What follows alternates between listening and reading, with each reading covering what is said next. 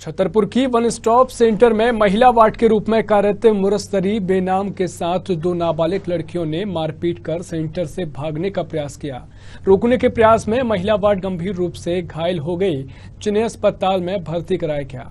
पूरी घटना civil line थाना क्षेत्र के चौबे कॉलोनी स्थित महिला बाल विकास के वन स्टॉप सेंटर की है। वन स्टॉप सेंटर में गार्ड पोस्ट पे तो वहाँ पर दो लड़कियाँ थीं। सोलह, सत्रह साल की होंगी उन्होंने भागने की कोशिश की, चाबी हम कैसे दे दें आपको? तो उन्होंने पीछे से एक गई, एक बातों में लगा रही, उसने उल्सा ले आके रख लिया। तो मैं नहीं समझ पाई, उसने फिर एक ने मेरे पीछे से हाथ बांधने की कोशिश की। ये गार्ड के पद पे पदस्थ थे।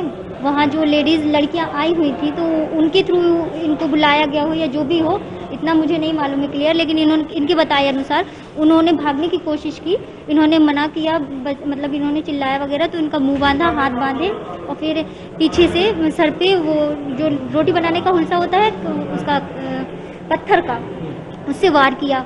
कई बार मारा उनको और जब बहुत ज़्यादा ब्लड गिरने लगा, ये तड़प, तड़पने लगी, गिर गई थी तो फिर उन्होंने भागने के लिए ताला खोला और उससे फिर गार्ड वगैरह आ गए, जो बाहर थे, वो सब आ गए। तो वन स्टॉप सेंटर में रेप विक्टिम बच्चियों या गुमशुदा से जो बच्चियाँ हैं, गुमशुदा हुई बच्चियाँ हैं, जिन्हें पुलिस के माध्यम से आश्रय के लिए लाया जाता है, उन्हें वन स्टॉप सेंटर में आश्रय दिया जाता है। उनकी ही देखरेख के लिए उनके साथ में एक महिला गार्ड को रात्रि के समय पर रखा जाता है। तो डीएसपी मैडम के आदेशानुसार उस बच्ची को परसों ही रात में वापस लाया गया और उसके साथ में भी एक आश्चर्यरत बच्ची थी। इन दोनों ने मिलके कल रात्रि में लगभग 12 बजे इन्होंने भागने की दोनों बच्चियों ने कोशिश की तो इनके हाथ बांधे, मुँह बांधा गया। उसके बाद में इन्होंने जब चीखने की कोशिश की तो फिर उस